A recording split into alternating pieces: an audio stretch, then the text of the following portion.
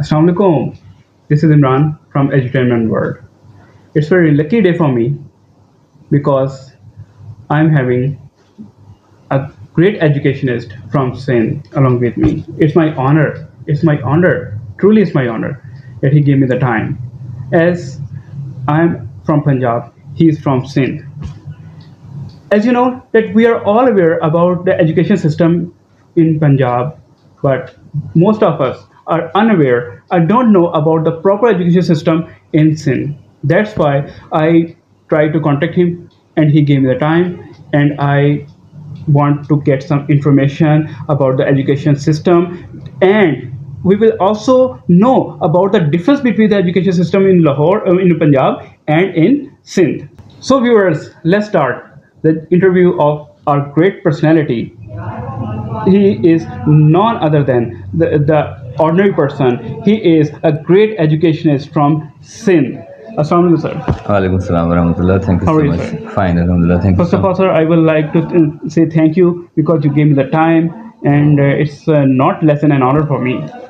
So nice of you. Actually, I must be thankful to you that you have provided me the opportunity uh, to express my views and uh, to share my humble experiences with your audience. So I must be thankful to you. Thank you, sir. Uh, as I have noted down some questions uh, to introduce, to know some education differences from uh, uh, uh, Punjab to Sindh. And the first, uh, I will start a question with your education background and your experiences, if you don't mind, sir. Thank you so much, Imran. Actually, my education is from Sindh. All, overall, my education is from Sindh. And um I did my matriculation from my village, uh, Amrot Sharif. And then I did my FSC from uh, Government Degree College, Ghotki. Uh, after that, I did my master's in chemistry uh, from Shah Abdul Latif University, Khairpur. And then I did my, I thought that I must go for another uh, option also. So I did my master's in Islamic studies, Islamic culture, uh, because of my family religious background as well and my personal interest also. So I did my master's in Islamic culture, then I did my MPhil also in Islamic studies. And the topic of my MPhil was my own great grandfather, uh, Sayyid Muhammad Shamruti. So the political, religious, and religious and spiritual services of Allama Sayyid Muhammad Shamruti. So was my thesis and topic. And secondly, I was interested in education as well and uh, uh, law as well. So I did my uh, law graduation from Khairpur also because Khairpur city is considered uh, throughout Sindh considered as hub of education. So it is a well very well known city in terms of education and educational institutes. So I did my law graduation also from there, and I did my master's in edu- uh, education also, B.Ed, M.Ed, and uh, I was interested in martial arts also. So I got opportunity, and I found some great teacher over there, and I learned I, uh, martial arts also, and I'm black belt first dan also in uh, Kyokushin style. So this is my humble educational background. I'm heading to PhD, inshallah. Mashallah, mashallah. Okay, sir, my uh, next question is what are the primary goals and objectives of a government of Sindh regarding the improvement of education system and how are they being uh, prioritized and pursued? Uh, I must uh, share with you here. Actually, many people are unaware of the measures and steps which uh, Sindh government is uh, recently taking for uh, education development. Uh, since 2010, I must say that uh, the education yani, uh, recruitment of teacher, teaching faculty uh, has been initiated on purely merit basis. No doubt before uh, 2010 I don't have that much uh, experience also, but I must say that from uh, 10, uh, 2010 the recruitment of teachers and uh, other officials in education department uh, is based on or has been conducted on purely merit basis. And uh, I have uh, some good examples also that uh, HMs, hired headmasters or principals, you can say, uh, in government schools were hired through IBA, Institute of Business Administration, and IBA conducted that uh, test for recruitment, and those uh, HMs were uh, yani, hired on purely merit basis and those people are working extraordinarily excellent yani they, are doing a super job. So this is yani an amazing opportunity and very good opportunity for the people of Sindh and those deprived people who are uh, getting education in government schools. So they have transformed the government schools, and there's a huge change, big change in uh, government schools education system, and they are putting all their blood and um, sweat for the education and for quality education. No, that's great. Uh, Much improvement have been taken place. Yeah, so the first indicator, you know, uh, I must, uh, sorry to interrupt you, first indicator, yani uh, recruitment of teaching faculty on merit basis. When the teachers are hired on merit basis, so they perform well, they are capable enough and they are willing also, and then they are performing well, and that outcomes are coming for us. Right, sir. Uh, sir, my next question is uh, access to quality education is essential for inclusive development. What steps are the government taking to ensure equitable access to education for all children across urban and rural areas in Sindh? as I earlier uh, shared with you, that uh, first step which was taken that uh, recruitment or hiring of teachers on merit basis and the quality teachers have been inducted in the education system. So those teachers, uh, uh, and again this is the policy that uh, recruitment recruitments have been made on uni- union council basis. Okay. Yani uh, the teachers who belong this uni- union council, so they will be serving in the same union council. So Right. all the people who have uh, who are capable enough and who qualified that test, it was very tough test, I must say. So those people who qualified that test, that examination, written test, uh, so they will be serving in their own union council. And uh, this is a great opportunity for them also because they don't have to travel uh, for long distance and they don't Right. have to uh, move for uh, so long and they are working in their own environment own union council own uh, surrounding and they are uh, working for their own people so when they are working for their own people they own their children they own their institutes and they are working with dedication and uh, pure yani, love and enthusiasm Right, sir. Second thing I must say that uh, uh, check and balance also has been ensured. Now government is taking uh, serious measures for check and balance that uh, and uh, otherwise uh, training systems also have been introduced and uh, teachers are being given uh, proper trainings on modern te- teaching methodologies, lesson planning and all those things are being implemented. Yani now this is era, this time Sindh is observing and Sindh is witnessing a great change and great development in the teaching uh, system. As you mentioned that this is very, very big change uh, has been taking place in the field of education in Sindh. Exactly. Uh, teachers' quality and professional development significantly impact students' learning outcomes. How does the government support and encourage the professional growth of teachers to enhance the overall quality of education in Sindh? Yes, uh, it again links to my previous answer. That uh, first uh, point is that hiring of teachers on merit basis.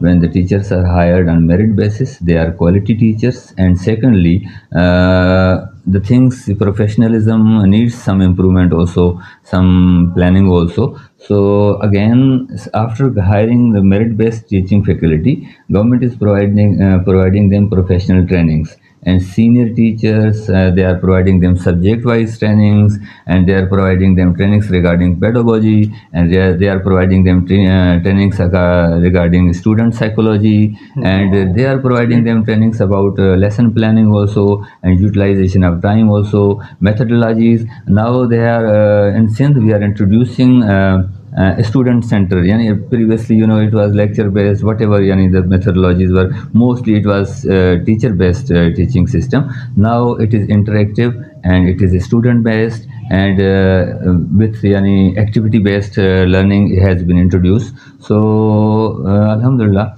the students are getting benefit of, and with these developments. My next question is Technology is rapidly transforming education globally. How is Sindh leveraging technology in the classroom and what initiatives are in place to promote digital literacy among students and teachers? First of all, uh, we must accept this thing that uh, we are lagging behind uh, in terms of technology in classroom.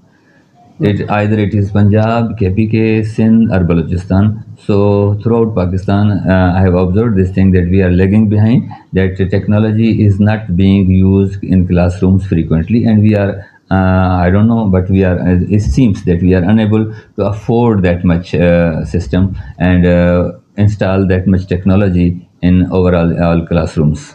Uh, yes, there are three sectors working in Sindh. I must say that uh, first of all that the government sector uh, which is working uh, on broader basis and then second uh, is private sector also working in education. There is huge number of private institutes who are working for the quality education and who are working for the modern education and uh, further development. They have resources also and they are working uh, their best. And then third sector is also that government has introduced in Sindh Education Foundation so that is a, public-private partnership. So they are, in, the yani Sindh government has involved uh, public into uh, yani government sector and they have they are main stakeholders and they are uh, adopting the schools and they have been given chance so they are giving uh, subsidy to this uh, those uh, yani individuals Right. the person who wants to open a school so he is approaching Sindh Education Foundation and uh, after some proper processing uh, that after that process they are uh, yani providing him opportunity okay you can op- open the school and we will be providing you books free of cost and uh, from through go- government side. And we will be providing you subsidy on per head according to number of students. So from that subsidy and they are providing them uh, uh, some financial assistance to establish infrastructure also. So with that much support so people individuals who are interested in education they are able to construct their school initially and they are able to enroll the students and they are able to uh, pay the salaries of their teachers from that subsidy which government is providing. So yeah, in these three sides uh, government uh, Uh, Sindh is working on education and this is giving a great opportunity and now those people especially uh, yani private public uh, stakeholders they are in, uh, introducing their computer labs also and they are uh, introducing uh, LEDs in their classrooms at least some great. students are taking some classes at least and the, on the digital and they are using AVI aids also and Wow, uh, I must great. say that government is also taking now they have made it mandatory that most of the schools are having computer labs also ICT labs and then uh, many schools are having other opportunities also and other facilities also. Uh, I must include here uh, that uh, like uh, many stakeholders yani mostly it has been yani very much uh, popular that politicians are not working and politicians in are that uh, not taking interest. I have observed some politicians like uh, Ma'am Nafisa Shah. She is MNA from District Khairpur, her constituency, uh, and she has introduced a network of libraries throughout her constituency and even uh, beyond her constituency Right, throughout the great. district. So many libraries and digital libraries have been established, and many students uh, from far-flung areas, even villages, towns, uh, mostly the towns which are deprived from uh, basic facilities even. But there is a established library. There is someone mentor, and the students are coming here, uh, uh, coming uh, to those libraries to quench their thirst of education, and they are being guided, and they are getting benefit of these libraries. I must add also here. that uh, they have adopted some schools also in Khairpur districts and those are like model schools and uh, in those schools most of the facilities have been provided. Digital libraries uh, either it be digital libraries either it be AVI aids projectors multimedia room and then uh, all the facilities almost science labs all these things have been provided one more person I know that uh, Chief Sardar Muhammad Muhammad Bakhsh Khan Mahar in Gotki. So I saw him also that uh, being a uh, tribal lord also, but he is well educated and uh, a well uh, groomed personality, and he is also putting a huge focus and uh, interest in education system. And in Gotki also he is supporting education institutes and schools and establishing libraries. So now that system has been changed. Uh, people have got awareness, and our politicians, our all stakeholders, social, uh, uh, what we say, circles, and uh, social activists. Everyone is because now we have realized that we cannot develop, we cannot prosper without education. Yeah, because when our generation is educated, then we can prosper, then we can develop. 100%. Uh, without education, we cannot do anything. Yes, you are right. You are right. So, my viewers, now you can come to know about the importance of this interview. Because even I'm also running a channel of education, but the thing he has mentioned never ever been mentioned in even in media, on in social media, on any other platform. So i'm i'm i'm very lucky that uh, to have your interview and you gave us much information about Sindh education Yeah, so nice of you, um, uh, sir. Actually, uh, this is the thing that uh, most of the thing media uh, channels and the people are unaware of, or uh, they are not introducing, and that they are not promoting. Uh, they are not sharing with public. So I'm thankful to you that through your channel we will be sharing the real things and ground realities of education in Sindh and the recent developments of education in the field of education in Sindh. So thank you so much for providing this uh, wonderful platform to me. Okay, sir uh, i want to ask some more questions if you don't mind Please. uh, the role of parents in the form of parental involvement is crucial for chil- child's academic success. How does the government of Sindh foster collaboration between schools and parents to create conductive learning environment? Uh, thank you so much for posing this question. And this question I must count as a, one of the heart wrenching questions. And this is very much uh, painful question. Uh, unfortunately, till now, even at this moment, I'm talking. So parents' involvement has been minimal towards the education of their children. Government has made, uh, made education free of cost until grade 10. The education is totally free of cost in Sindh government schools. But again, uh, parents are uh, not ready to send their children to schools. Why it is so? Uh, actually, they are thinking about short-term things and they are not thinking about long-term uh, things. For example, uh, they have to go uh, to crops, they have to go to their lands, and they have to tender their uh, buffaloes and sheep.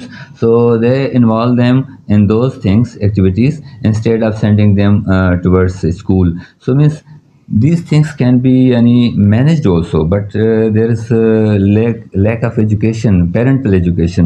So they don't realize the importance of education till now unfortunately. Uh, government is introducing uh, awareness sessions also. I mean uh, awareness sessions and uh, i myself have conducted some awareness session and motivated uh, tried to motivate i must say. I tried to motivate parents but uh, some of them alhamdulillah got motivated. Rest of them remained same. We will we need to work on them further. Uh, so government has established smcs also school management committee. And they have involved uh, locals in managing their school. Yani some uh, person whose children are studying in my school for example. So that parent also must be the chairman of smc then members of smc the principal of that school and some teachers of that school and some other members from the society from their town from their that circle surrounding and mohalla so those members are coming together every month and they are having meeting about progress in school. Progress of their children education and progress of uh, utilization of the funds which government is sending. What did you purchase? Now this fund has been sent from uh, to, uh, by government. Now this should be utilized for solarizing uh, the school because of uh, electricity issue. So some schools are utilizing accordingly. So solar panels are they are uh, uh, installing and then they are uh, for example pure uh, clean drinking water facility so from this fund uh, also but it is also being utilized through smc school management committee Right. so this is a good step actually yani all stakeholders are working together Means you uh, you want to say that there is a dire need to create awareness among the parents Yes. about the importance of Yeah, education. this thing we are lacking in and we must uh, work it on it more Right, sir. Right, sir. So, sir, education can play a significant role in promoting cultural understanding and tolerance.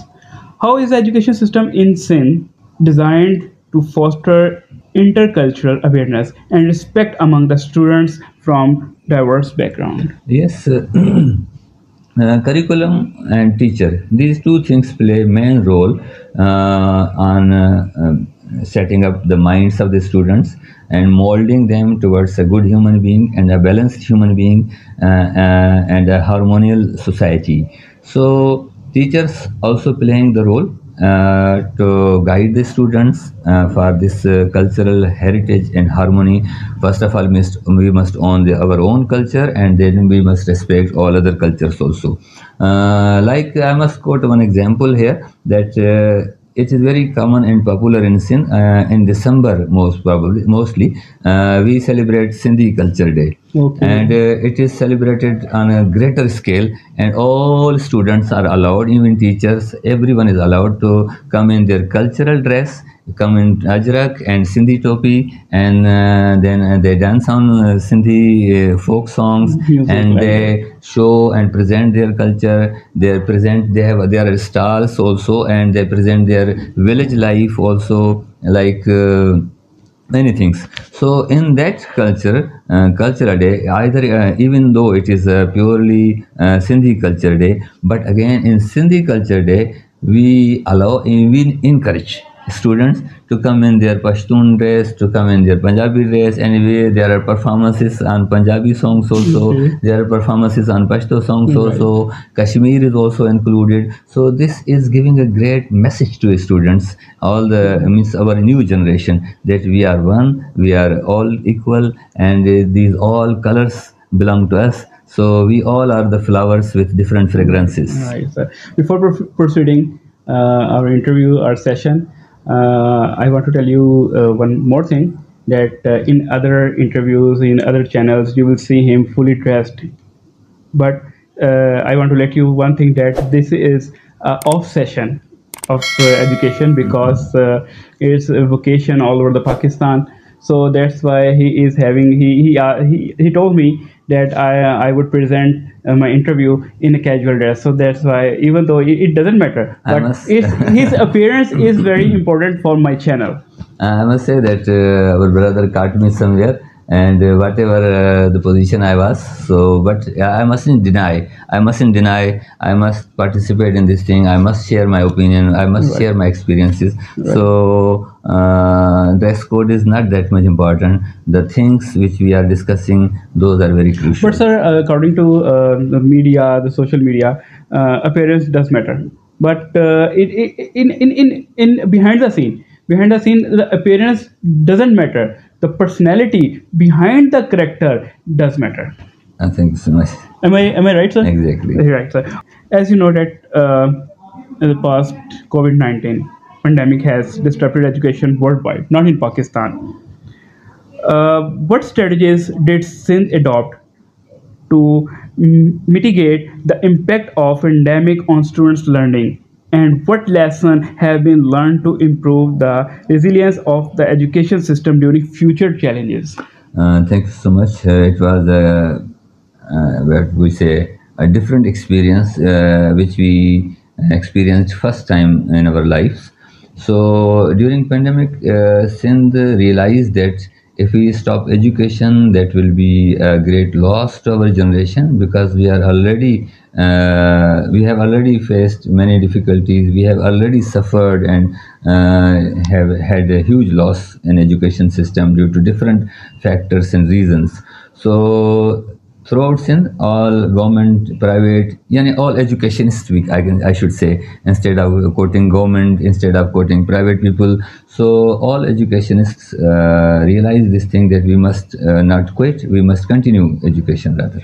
So education was continued. Uh, initially, it was uh, huge pressure from government side, from uh, international community, and worldwide, uh, from United Nations, World Health uh, Health Organization, that we should close all the schools. Students should not come outside. Blah blah blah. All these things. So uh, gradually, we in Sindh started education in intervals or on alternate days also So less number of students were called, and uh, one student on one bench and second student on second bench. So one by one on a distance, and we took uh, precautions. Everyone was wearing mask. All schools were utilizing uh, sanitizers, and all precautions were taken, and education was continued. And second thing, uh, most of the schools did in uh, Sindh. Uh, one of them, I must quote, most successful uh, conduction of uh, LMS system. So Pak-Turk Maarif International Schools and Colleges, uh, Turkish-based education system, they also conducted uh, online classes as well. And the teachers were called in different, uh, what we say, uh, timings. And uh, they used to come in one classroom. There was, uh, what we say, uh, system, camera, mic, everything was, and smart boards were installed. And teachers uh, um, gave the lectures and they shared their lessons with their students and students attended those lessons from their home. And students were given homework and they did their homework and they have to submit they had to submit their homework on time given time and teachers were bound to check their homework and they and provide them the results. So like that uh, yani on alternate days and uh, and uh, yani less number of students were called and uh, sometimes online classes were also given so this strategy many different strategies were applied but education was not stopped Right, that's very great. Okay, sir, what do you say about as the education education during the pandemic, COVID pandemic, and now the education system? Uh, is there any differences, and uh, do, uh, do you are you satisfied that you have overcome the ability of a student that uh, has been faced by the students on during the academic uh, pandemic? Uh, Yes, although it was a huge loss and a gap uh, which must have been covered, and uh, yes, till now I must say that it has been covered because after that uh, teachers uh, and uh, parents is even also they also realize that there's that is a loss of their children education. So teachers, parents, everyone uh, in the society they put huge effort and uh, the uh, loss has been almost covered. Again i must repeat uh, i must uh, say that recent flood uh, which affected sin uh, Sindh. So that again it was like a pandemic and uh, for a long time the schools were uh, closed yani we were unable to open the schools because of flood there was a flood water in the schools and most of the school buildings were damaged so again that loss we are covering and uh, inshallah ta'ala may allah keep us may allah protect uh, everyone from these kind of uh, disasters and uh, we are covering that loss. Inshallah, inshallah. Hope for the best. Thanks for the answer, sir. Uh, now we'll move toward uh, one most important and most hatana question that I want to ask. Uh, the question is that uh, is there any political influences on Sindh education system, and how does the government ensure its independence and autonomy while promoting the curriculum that fosters critical thinking and well-rounded education for students? Uh, thank you so much. Yeah, it was really, it is really a most uh, khatarnak question. so I must answer it actually, uh, Imran sir, that uh, every government is a political entity. Right. If there is a People's Party government in Sindh, so that is also through, uh, overall a political entity. If there is a government of uh, Noon League or uh, PTI in Punjab, so that is also a political entity. But I must say that governments uh, do their tasks. Governments uh, uh, are based on performance. So when governments uh, have to show their performances, they work uh, in a systematic way. Uh, it is not like that political influence that people will influence politically and they will change the things. Yes, uh, government is working like I told you that on grassroots level, uh, on union council, even on say every school based, there is SMC, School Management Committee. So some stakeholders from the society are involved, and one of the parents is made chairman of the uh, that uh, school management committee. Teachers are involved, and some other uh, uh, local people are involved. So they come together definitely though uh, some of them are uh, belong to some any any one of the political party also. But they come together and they think out of the box and they think what are the uh, needs of this school and how to improve this school uh, for the betterment uh, for the better future of our children. So this is a general interest and there is no political influence in these things. Secondly uh, I must quote here that uh, as I told you that uh, uh, I have been observing yani since long uh, the hiring and the recruitment of the teachers is on purely on merit base so as I quoted IBA headmasters and other teachers Right. now recent hiring thousands of teachers were hired but they were hired on purely merit basis and they say there is no yani I must say there is no political influence or interference. Uh, if there is there is for the betterment yani for some quality and for the improvement of for the education. improvement for the education. So it's not it's not uh, bad uh, that influence uh, if the government in uh, uh, partake in some sort of uh, influences in uh, in education system if they are doing if for they are making for the betterment for yeah, reform for reformation reforms, of for betterment Right, that's very good. How does Vadera system affect the education system? Because uh, as I uh, l- listened from different per- person or from the media, that uh, they never let their people uh, to get higher education because after getting the education, they will come to know about their rights and they will uh, stand in front of them Actually, this is very unfortunate that this misconception and this perception has been established. Yes, it might be in old days, very uh, in past, but uh, since long, uh, I have not, uh, yani, I haven't observed these kind of things, and uh, no one is forcing anyone uh, that you shouldn't go to school or you shouldn't send your children to school. If they get educated, they will come in front of us, they will be equal to us. So, this is not like that. This is just a perception, or we can say just a misconception, which has been Okay. spreaded, I think. Yes, in previous days, in past, maybe uh, uh, very uh, uh, so far, uh, it might be over there. Uh, 40 to 50 years yeah, back if you talk about not 40 50 years back because i must go uh, almost uh, if we say maybe 100 years back it is it was possible or it was it existed but uh, i don't see these things in 50 years uh, tenure But sir, even as uh, uh, if I talk about myself, that I have seen many dramas. In that dramas, the Vaderas never let their laborers to get education. Then why it is so? Then why the drama or social media is spreading this kind of uh, false things? Actually, uh, I must say that social media or our electronic and print media must play uh, a positive role and must reflect uh, the positive things also uh, instead of reflecting negative things. One thing, yes, it is possible. In rare cases, uh, there might uh, it might be possible, and there are uh, some cases, but they are very rare. Yani if one person did something and it is spreaded like that throughout Sindh, this is happening, and everyone is suffering, and no one is able to go to school, and Vadera is keeping on gunpoint. So this is not like that actually. So in rare cases, it is happening, and it is happening everywhere in Punjab, KPK, Balochistan, everywhere it's happening. But in rare cases, this is not general practice. So I must uh, explain here that um, uh, yani, this is not uh, yani Vadera Shahi and like that. Okay, your children cannot go to school and they cannot get education. Everywhere, everyone, yani, in every village there is school and uh, there are teachers and students are coming and parents are also aware yani, now recently that our children should get education. Yes though uh, they are not taking that much interest parents themselves but again uh, there are schools and people are going to schools. Yes quality of education must be enhanced improved Right. and then facilities must be improved.